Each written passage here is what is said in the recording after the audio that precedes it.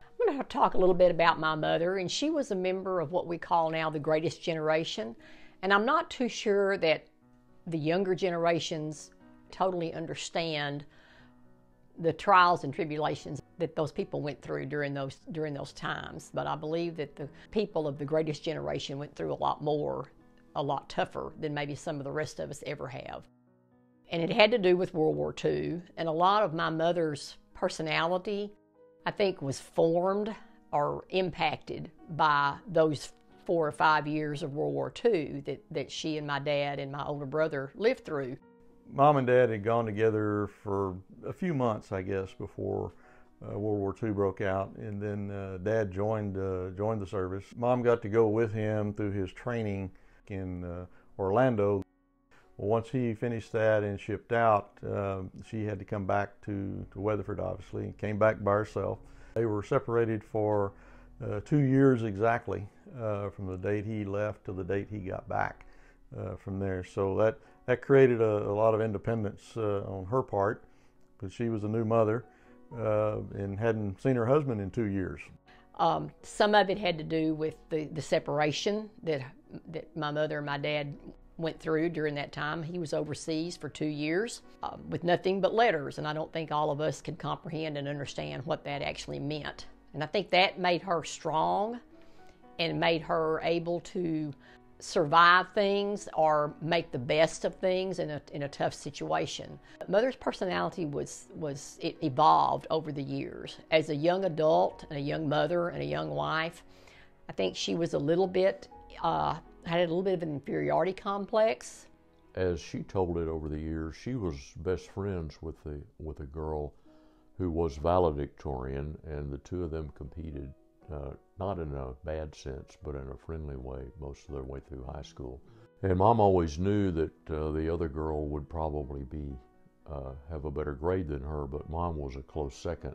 And grandma was supposed to be the salutatorian, but the principal at the time couldn't find it in himself to give both the valedictorian and the salutatorian awards to two girls. The uh, principal at the time gave the salutatorian award to the boy with the highest score in the class, and mom was not given not given the award of being salutatorian. While she'd earned it based on her GPA, she wasn't awarded it. And she always resented that.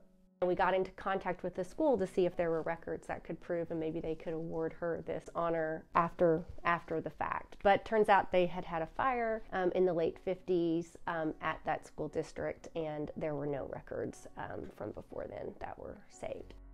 I think in a sense it was symbolic to her of the power that men had sometimes over women and she was ahead of her time in in uh, recognizing that and wishing it weren't that way, but sometimes often not knowing what to do about it. And also, some family members were not necessarily propping her up or giving her encouragement. Sometimes she was put down by those people.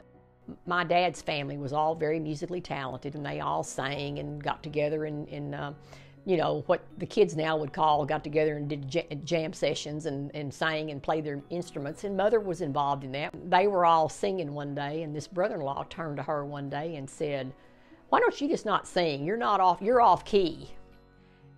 And mother took that to heart so bad that I don't think she ever sang again because I sat by her church for years and years and she would never sing. She never opened her mouth. She did not appreciate men who asserted their power over over women. And until most of that family had passed on, she didn't feel comfortable talking about that. But once they had all gone, then she began to open up about those kind of things. And, and that's the sort of thing I think that impacted her more than we would think about it. You know, in her latter years, I could see her turning to him and saying, Why don't you be quiet? You're the one that's making all the noise. But at that time in her life, she couldn't do that or didn't do that and it, it impacted her overall self worth to herself. And uh, when I started the school in the first grade, she went to work outside the home. Prior to that, she was at home. First day I got on the school bus in the first grade, well, she started a job that day um, at the uh, lumber company here in Weatherford. And she learned the lumber trade and learned a lot of the builders uh, and what they needed and how they did their business.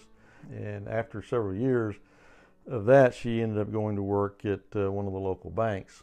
And after um, she had worked at the bank uh, for several years, uh, giving her interest in building and, and, real estate and stuff, she actually went and got her real estate license and, began, and became a realtor. And that's what she did uh, for the rest of her uh, work career, uh, probably from her 50s, I'm going to say almost 70 years old. She was involved in real estate business and actually was a realtor.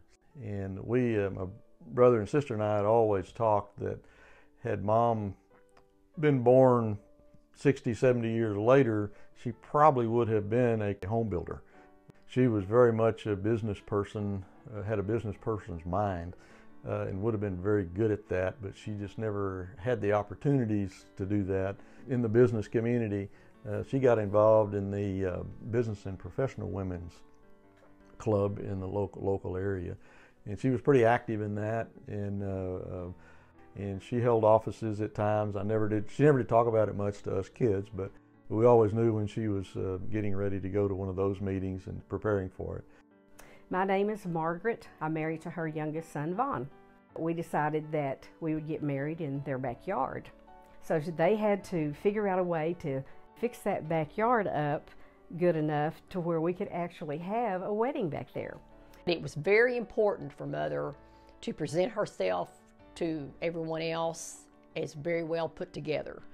She she just went all out because I just thought, okay, we'll just have a very simple thing back there. It'll just be uh, certain family members. Well, no, Jean said that's not that's not how it's going to be. We're going to have chairs. Everybody's going to sit down, and and I didn't really have an idea as to have a lot of flowers. And she said, "Oh yeah, you need flowers." She wanted to make sure we used glass uh, saucers and real silverware. She would never use paper plates at a holiday. That was just a no-no. That was never going to happen. We had the good dishes out and, and the good glassware and everything. Whenever she cooked a meal, it was very well presented.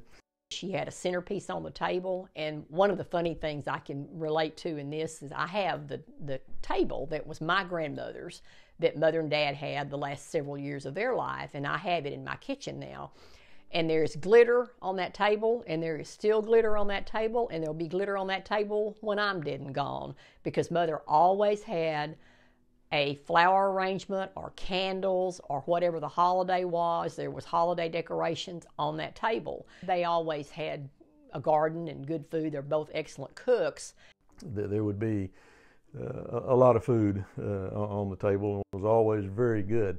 To the end of her life, she had a little table in there, and we would come. She would pull that table out she would put placemats on that table, and there'd be a, a, flower arrangement on that table of some sort when we came in to open our Chicken Express box. You know, I mean, that was just the way it was important for her for that to look nice. Another thing about Grandma Jean was she was um, very stylish. Um, she styled herself well, she styled her homes well.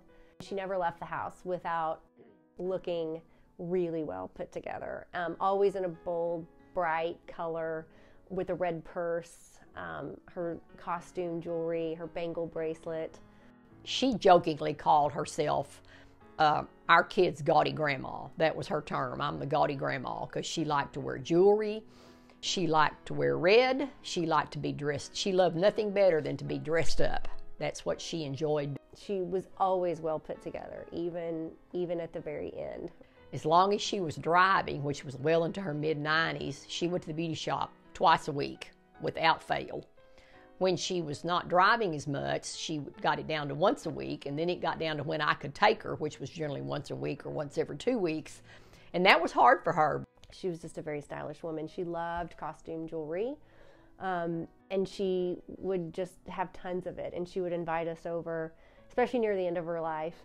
Um, she knew I loved jewelry too, and she would invite um, me and like my daughter and my mom over, and we would kind of rifle through her her jewelry drawers, and she would let us pick out what we wanted, and we got tons. We have a whole chest of drawers. I think as she got older, I just saw a feistiness come out in her. In her later years, um, we called her the diva I do remember one time we came over to visit her in her apartment.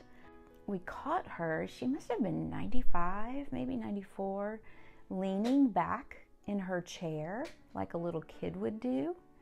And somebody told her to stop, and she looked at him and kind of smirked and just started leaning back again and again, um, just because she didn't want to be told what to do.